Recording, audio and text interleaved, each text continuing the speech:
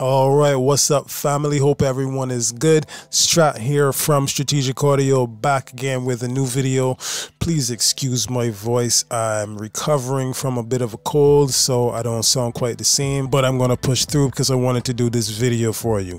Now, about this video. Today, I'm going to be making a composition sample from scratch. The style or genre that is going to be in is that Philadelphia soul sound. But just a few things before we dive right into that. The composition that I make here, you'll be able to get it for free as usual down in the description. Secondly, my latest loop kits, free loop kits that is, will be linked and available down in the description. Thirdly, if you're so inclined, please click like on the video and consider subscribing. It really does help the channel. So the Philly Soul Sound originated obviously in Philadelphia in the late 1960s. Production style is characterized by lush orchestration, often sophisticated arrangements, and intricate instrumentation. Vocals are usually very smooth with lots of polished harmonies, and overall the vocal texturing and layering tends to be very well blended. The feel of the Philly soul sound is very relaxed and smooth and laid back, drawing lots of influence from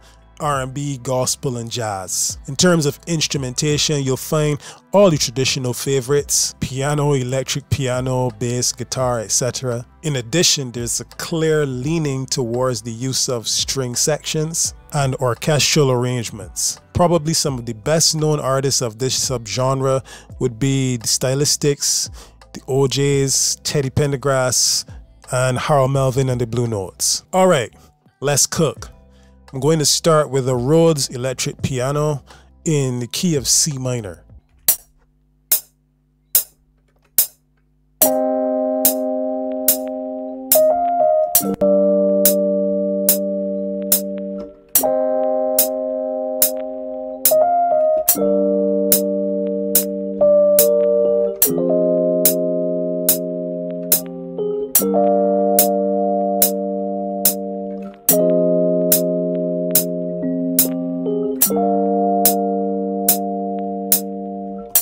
This nice little 8 bar progression is actually quite simple. It goes from C minor to G minor to C minor 7 to G minor to F minor 7 to G minor 7, F minor 7, and G minor 7.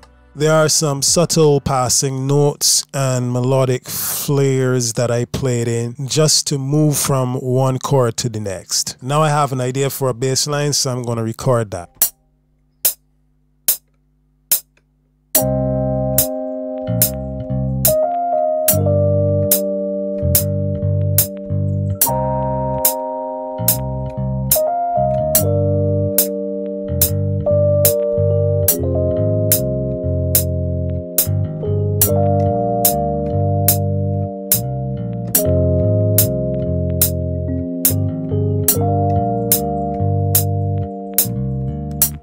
Now again, this is pretty simple, especially for those first four bars and it grooves in the pocket. Note the melodic shift for the second four bars. I just wanted to do something different that I felt matched the energy of those chords.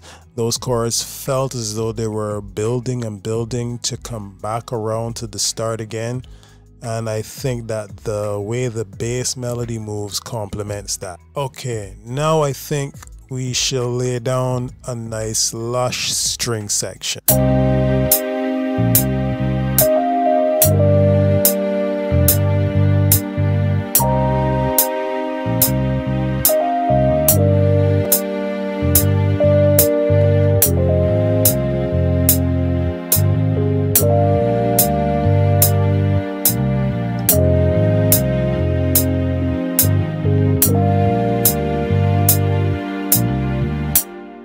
Again, nothing too complex, just following the main chord structure and giving the composition a nice solid backbone. Notice for these last two chords I added in the seventh note because that gives it a build up feeling as we come back around to the beginning to the first chord again. All right, now I think I'm going to add a really simple guitar strum idea using a Kontakt instrument. By the way, I just realized I hadn't mentioned it before. The Rhodes piano sound is of course Pianoteq 8. The bass is Modo Bass 2. And those strings I just played, good old Omnisphere. I'm just gonna go ahead and click these notes in because this is really basic.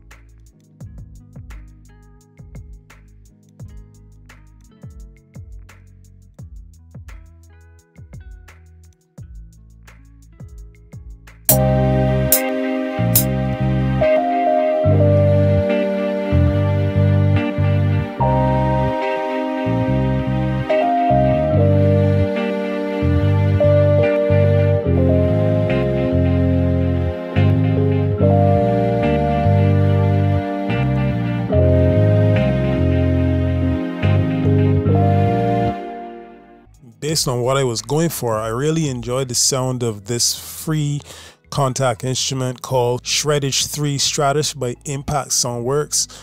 Um, it really has a nice guitar tone and it's free. Well, perhaps I should say this is the free version. There is also a paid version. I, I love the way it sounds in this particular style and it to me it adds almost like a percussive element to it. Alright, so I'm going to move on now to another string section. This one is going to be um, kind of uh, an accompaniment or maybe an uh, kind of a complement to the basic string section that we put before. Um, this one could also be seen as kind of a counter melody, but it's really just um, making the strings a little more intricate and it'll probably be a little tame in the mix. And for this, we're going to use the BBC Symphony Orchestra plugin, the free one from Spitfire Audio.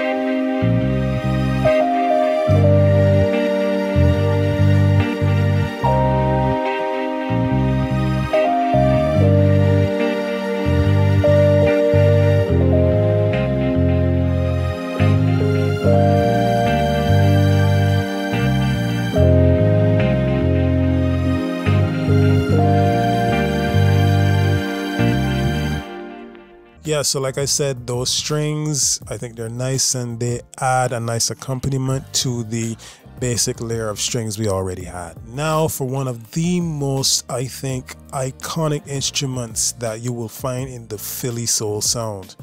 I really want to add this in. That is the electric sitar. I know you've heard it in tracks like You Make Me Feel Brand New by the Stylistics and You Are Everything also by the Stylistics. So for this electric sitar sound, I'm going to be using Omnisphere. They have a great preset for it.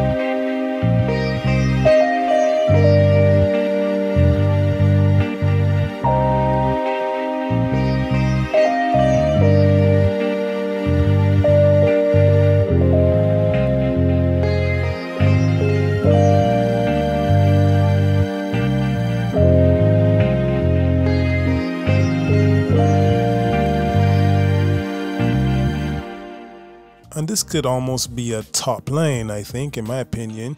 You could hear a vocalist singing that same melody and that sitar kind of accompanying them. All right, now this is maybe going to be the final melodic element that I play in here, and it's one of my favorite things to add. It's going to be a vocal texture. I think I'm going to use Augmented Voices by Arturia. If you know how to mess with the settings, you can create some really authentic sounding vocal presets. Bye.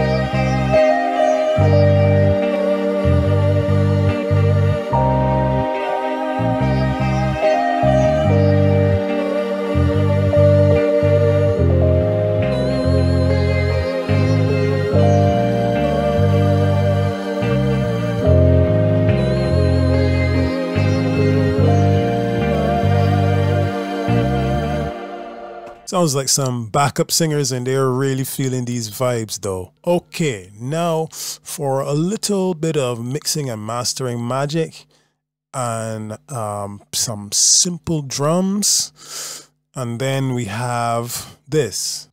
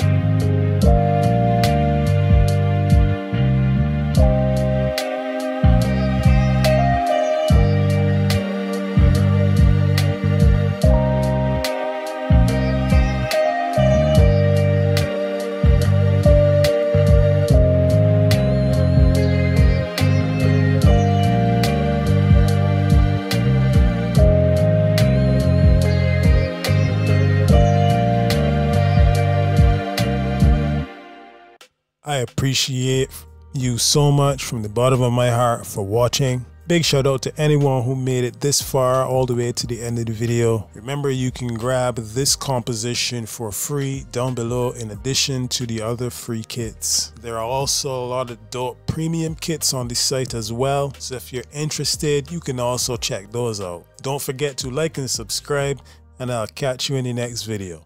Peace.